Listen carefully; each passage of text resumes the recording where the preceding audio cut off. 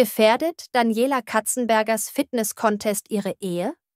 In den letzten Monaten hat Daniela eine beeindruckende Veränderung durchgemacht. Sie hat ordentlich an Gewicht verloren. Mit exzessiven Sporteinheiten erfüllte sich die Kultblondine einen Lebenstraum und nahm an einem Bikini-Contest teil. Dabei schaffte sie es sogar auf das Treppchen. Für diesen Erfolg integrierte Daniela einen strengen Diät- und Fitnessplan in ihren Alltag und trainierte regelmäßig. Diese stressige Zeit wirkte sich auch auf ihre Beziehung mit Lukas Cordalis aus.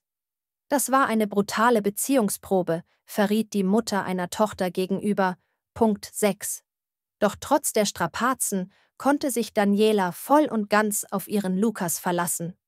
Die Fans der 37-Jährigen waren besorgt, dass sie durch den Gewichtsverlust ihren Humor verlieren könnte.